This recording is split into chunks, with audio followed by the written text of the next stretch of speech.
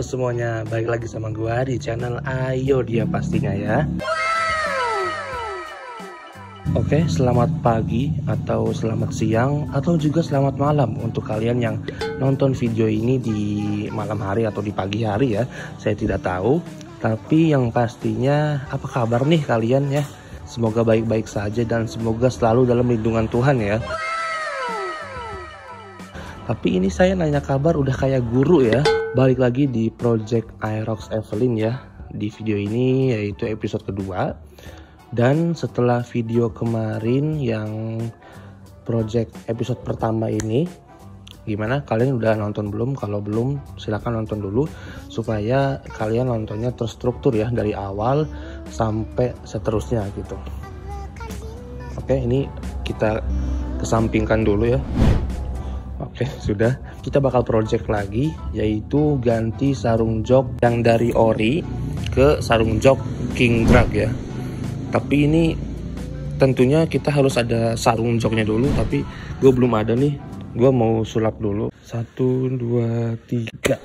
Nah gimana? Udah kayak pesulap merah? Canda guys. Oke ini sarung joknya udah ada di tangan gue ya.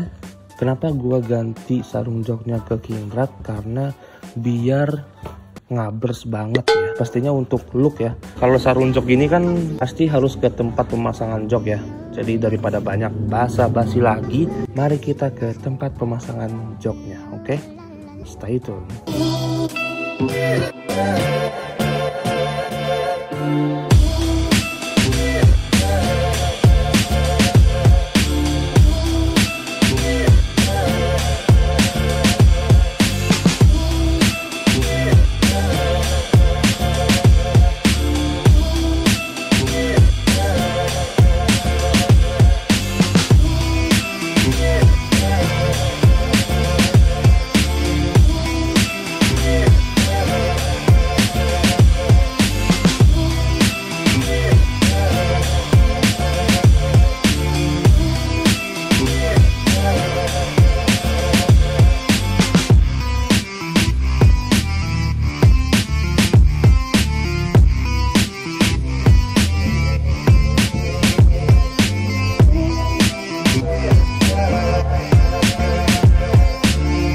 Jadi sarung jogging truknya sudah terpasang ya guys, terpasang dengan rapi ya. Bahan dari king drag ini halus ya guys, halus.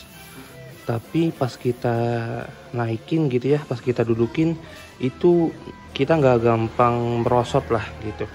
Jadi lebih enak buat speeding. Waduh speeding, enak balap banget emang. Selain dari tampilan juga cakep ya menurut gue ini maksudnya ada motif nama King Dragnya itu bikin motor jadi kece sih. Sini juga ada tulisan I am King.